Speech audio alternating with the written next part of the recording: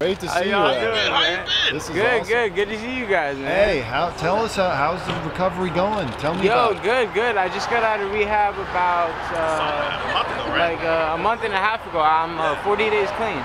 Nice. Are Yeah. you are you still going to any kind of facility? Or Yeah, uh, the, uh, you know Scott Storch?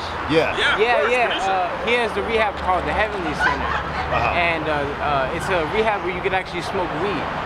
Nice. Yeah, yeah, and uh, it helped out a lot because I'm a big pothead. Yeah. So I just finished uh, 30 days at the detox center and then 30 days there, and it was a blessing. I'm finally sober for uh, like once in my fucking How does it feel? How does it feel? It feels really good. It feels really Are good. you man. are you living there or are you living like on no, your no, own I in a place the now? pro- I finished the program. Also, this is my girlfriend Noelle, by the way. I know. I you know. doing? Oh yeah, we Yeah, did. yeah. Good to see you.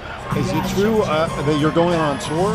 Yeah, uh, May 25th. May 25th. You ready for that? I mean, that's gonna be I that's know, gonna be I a know. challenge. Yeah, I'm actually gonna bring a sober companion from the, the rehab to, uh, you know, just make sure everything goes well and I'm not tempted to. Uh, but I feel really good. Yeah, Yeah. bad problem. Yeah. Is it gonna be? Do you think it's gonna be difficult at all to perform the music you made when you weren't sober? Uh, no, I think it's gonna be a lot easier.